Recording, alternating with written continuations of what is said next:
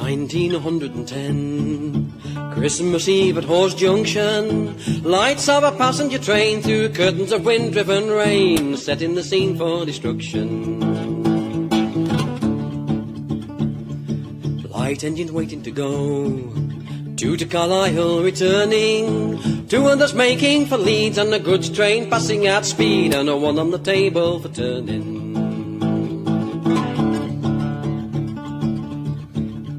Well, a northbound passenger's late.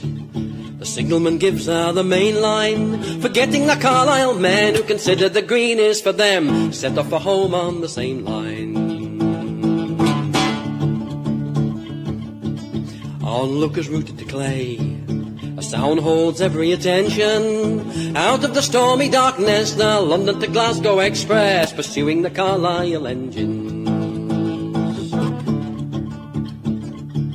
Hurtling on to Ais Gill, the Moorcock tunnel astride her. She bursts out into the night, and straight ahead is the light, slow moving engines to guide her.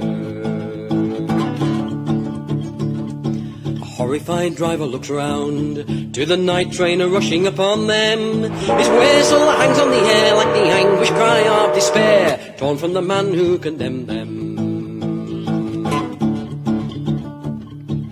Steel hammers hard into steel. Carriages crumple to splinters.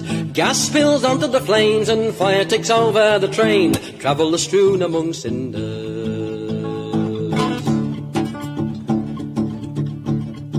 1910, Christmas Eve at Hawes Junction. Lights of a passenger train through curtains of wind-driven rain, setting the scene for destruction.